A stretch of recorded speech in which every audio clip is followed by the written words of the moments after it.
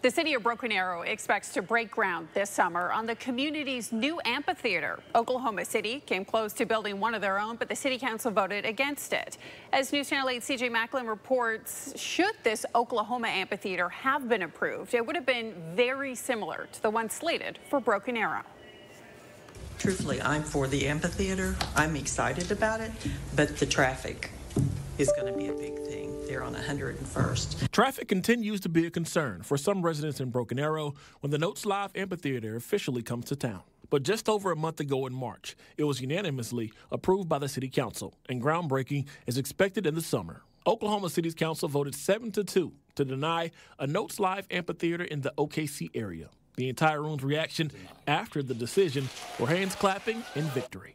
Most concerns in OKC are the same concerns some have in Broken Arrow about traffic and noise concerns from the amphitheater. Can someone please explain to us what the difference is between a loud neighbor disturbing the peace and the amphitheater bringing noise into our homes and disturbing the peace? How is that acceptable and any different?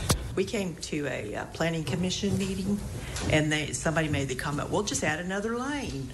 We've already got, you know, you can't, there's no more, there's no room to add another lane. I was just going to say we are putting about 28 million in uh, infrastructure improvements, um, so additional exits and entrances to keep people off 101st for the most part, um, including a what they call, I guess, a pigtail onto the the creek. Those $28 million include almost $2.5 million in road improvement and a $3.5 million roadway extension connecting to Highway 51. As of today, from the city of Broken Arrow, groundbreaking is now being discussed in either June or July, and public infrastructure contracts are already out for bids.